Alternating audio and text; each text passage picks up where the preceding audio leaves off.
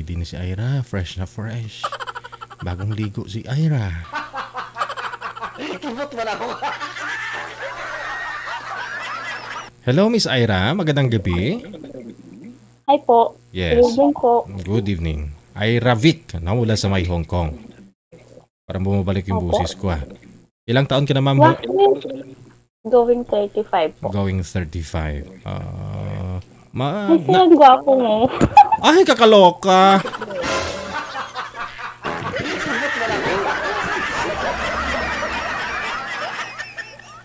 Hmm.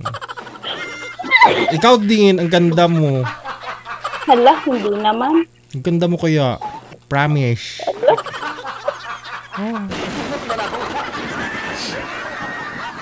Hindi nga, sir. Hmm, ang bango pa.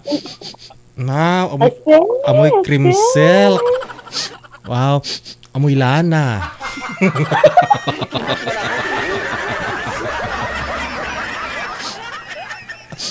amoy niyog. Alam mo yung niyog, nung una walang shampoo, walang pabili ng shampoo. Ha? Opo, yun po ginagamit ko ngayon. Ah, yan ba yun? Kaya pala, amoy niyog. Ala.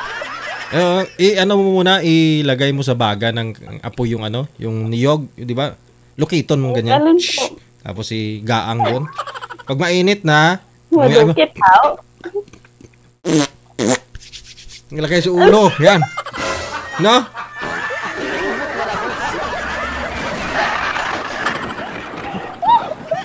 Tapos, kahit banlawan may buhok mo, may mga puti, may mga puti-puti pa rin.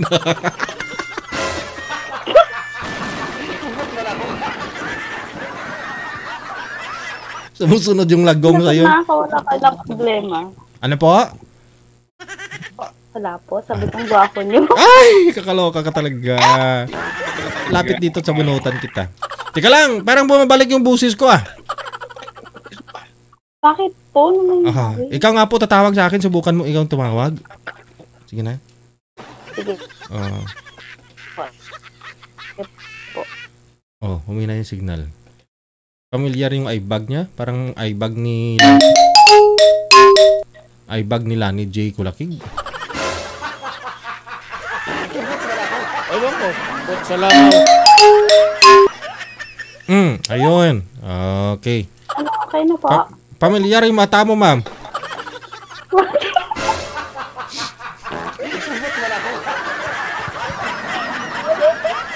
Mm-mm. Ano, Bakit ba? Bumabalik pa rin talaga yung busis ko. Ano ba yung kaburot-burot? Pwede mo tanggalin yung headset mo? Tanggalin, tanggalin mo lang siguro. Yan! Narinig mo ako? Okay na ba, sir? Narinig mo ako? Ay! Opo. Hello, hello. Sound check. Sound check, sound check. Ay po. Hello, hello, hello. Ay, Bum- si sir naman. bumabalik pa rin talaga. Isalpak mo na lang ulit, be.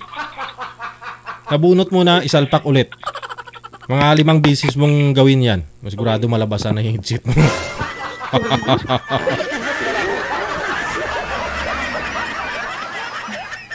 ah, hello? Hi po, sir. Ah, okay po. Sige, pagtsagaan natin ha. Edad po ninyo, ilang taon na po ngayon, ma'am? Going 35 na po sa March. Ay, sa March. Uh, advance happy birthday sa iyo. Tagal pa po. mm So ano pa paglingkod ko sa iyo ngayong gabi? Kasi uh, patulog ka na. Naghanap ako ng kausap. Naghahanap ka ng kausap. Uh, bakit? May karanasan ka ba? May, may problema ka ba dyan? Dagdagan namin problema mo. Ay, wala. Ganda lang po siguro ang single. Single. Ay, wala kang asawa. Kinuha po nila. Ah, kinuha na ng iba si mister. Ah, ano yun? May anak po ba kayo? Opo. Ilan yung anak ninyo, ma'am? Dalawa po. Dalawa lang. Hmm. Dalawang piraso po ha, hindi dalawang dosena. Ah, dalawang piraso. Ah, so tapos, yung panganay mo ilang taon na? Um, 15 po. 15. Laki na pala, no? Bata-bata ka pa nag... ah, ano. Tapos yung bunso mo ilang taon? Going 14 po. Going 14. Abuti hindi na sundan. Hala. Ay, tama na po yung dalawa. Tama na yung dalawa. O gaano. Gaano ka katagal dyan sa may Hong Kong nung kinuha ng iba si Mister? Um, three years. Three years ka na dyan sa may Hong Kong nung kinuha. Ano yun na kinuha sa bahay ninyo tapos hindi na inuwi? Hindi na po.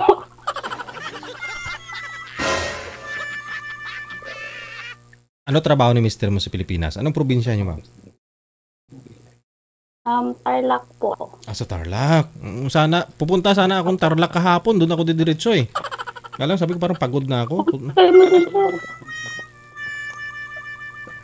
Grabe, sino nagbigay nito sa akin? Yung profile picture ko dati, oh.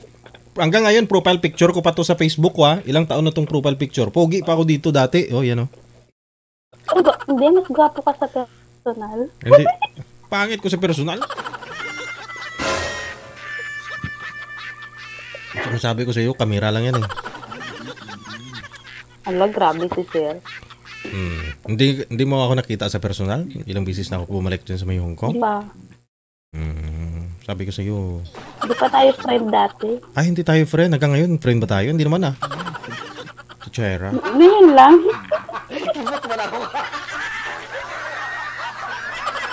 Hmm. Pero thank you, sir, ah. Bakit?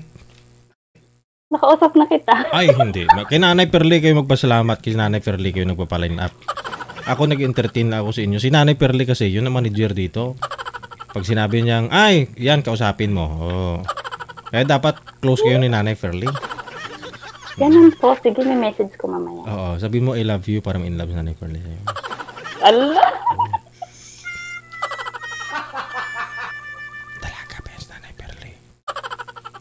Lakas, sir. Ay, wala na yan, wala na.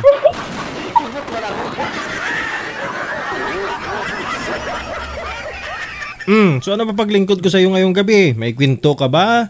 Ah, kung ano yung mga karanasan mo dun sa Tarlac? Ano, nagtakbo ka ng bata ka tapos nadapa ka, nasubsob ka dun sa tae ng kalabaw? Ano? Hindi naman po. Um, saan ako mag-umpisa, sir? Ah, sa Sa una, umpisa ba? mm, sa ilalim mo na. Paakyat. Sa ilalim. Mm, sa ilalim, paakyat. Hindi, ah... Mm. Wala. Ay, saan ba ako mag-umpisa, sir? Sa umpisa? Talaga? Oo, sa ilalim nga ba, paakyat. Pakyat? Eh, hindi pa pwedeng sa taas muna, pababa. Mo. Sige, ikaw, kung saan ka masaya. Oh, ikaw bahala. Umpisahan mo na. Pasok. Pot sa langaw. Ewan ko, pot sa langaw. Eh, Yung kinto mo sa amin, yung mga karanasan mo doon ah. Yung, kunyari, siyempre, doon sa probinsya ninyo, ano hanap buhay doon ma'am? Matanong ko lang. Ay, hindi po. Um, kumbaga, yun, ah, lumaki po ako sa hirap. Sa hirap. Mm-mm. Opo, nag-working student po ako. Mhm. Tapos, um, nagparaya ako sa bunso kong kapatid. Yun. Bakit inagaw niya yung Kwento ako boyfriend? sa pag-aaral. Ah, akala ko eh, Dahil nagparaya ka, inagaw niya yung boyfriend mo. Hala, grabe. hindi naman po.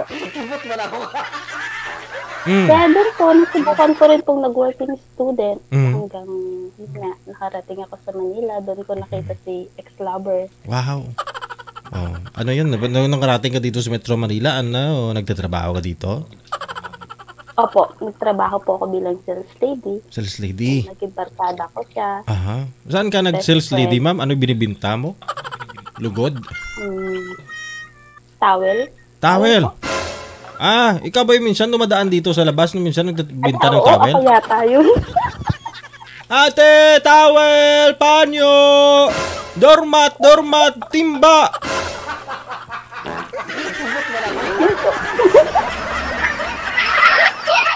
Ay, ganun ba yun? Ah, Opo, hanggang naging best friend ko siya, Mm-mm. naging boyfriend ko siya, Wow. naging asawa ko siya. Kasama ko mo siya.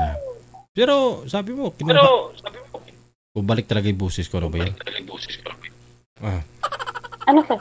O, ah, pa, pa, paano naging kayong dalawa? Tapos inagaw lang ng iba? Ano nangyari? Hindi, nagi, ah, nagkaroon po ng iba simula nung pumunta po ako dito sa HK.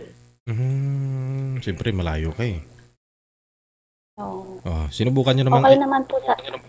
Sinubukan? Sinubukan ko naman pong ayusin, sir. Mm. Pero wala eh. Wala talaga. Hindi talaga pwede. Mm, doon na siya, na, nasanay na siya o doon na talaga siya sa sa lala, sa bago niya? Hindi. Ako na lang po nagdesisyon, sir, na kahit ako yung original, di ba? Ako na lang yung nagparaya. Kasal kayong dalawa. Opo. Ah, siguro may itik ka dyan, kaya nagparaya ka na. Wala naman. Wala ka namang itik dyan. Wala po, sir. Diba? Pero walang nanlilig, walang nanliligaw sa'yo na itik dyan? Wala po. Wala naman. Saka bakit kukuha na po ako ng sakit sa ulo, di ba? Hindi naman sakit sa ulo magka-boyfriend ka ng itik ah. Yung iba nga masaya, eh, nagagawan sila sa itik eh. Hala? Ewan po, kung darating man po siguro yung, yung, yun nga, yung guy, Mm. dapat tanggapin niya kung sino ako. Sana Yes. yung mga anak ko. Oh, pero saan ngayon yung mga anak mo, ma'am? Ah, yung isa nasa akin, yung isa na kay ex. Nagsusuporta ka doon, isa lang yung sinusuportahan mo. Hindi po. Dalawa. Oo, kasi anak ko pa rin naman yun eh. Mm, tama naman. No No? So ngayon, yung, yung si mister mo walang trabaho, may panibago ng kasama? Mm, driver po siya ata. Mm Hindi ko po alam kasi blinak na niya ako eh. Na-block No na. communication. Oh, may anak na ba sila ng panibago niyong asawa? Ewan. Ah, wala ka ng Wala po balita. akong balita. Hindi ka nakauwi dito sa Pilipinas? Umuwi ako last last year. Hmm, Hindi ko nakita. Wala. Nagkita po pero wala na talaga. Wala na talaga. Oh. Kahit sa mga bata. Diba? Ah, baka naman gusto mong big- bigyan kita ng ano, ng panibagong inspirasyon. Ano yung nahanap mo sa isang lalaki? Ano lang po? Honest. Honest. Kaya nga nagsabi, Spell honest. ano yun? Sir, hindi ko alam.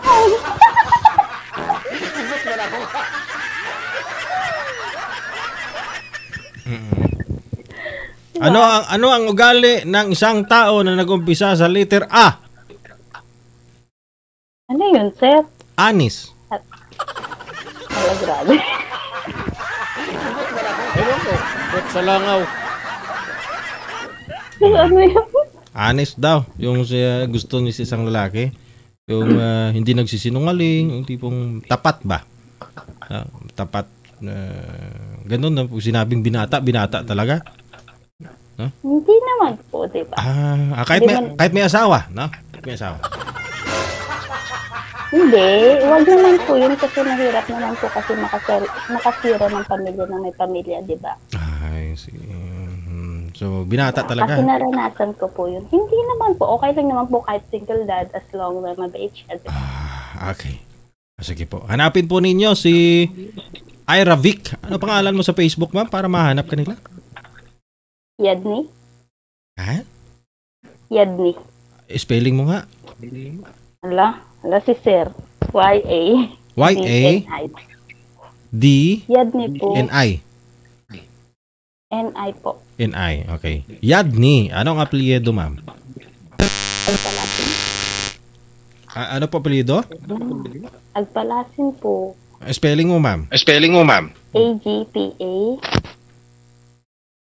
A-G-P-A. L-A-S-I-N. Okay. Sige, ma'am, ha? Ah, abangan mo na lang mamaya. Mag-friend request na sa'yo. Pasensya na kasi ano, bumabalik yung busis ko, ma'am. Ha? Thank you. Okay.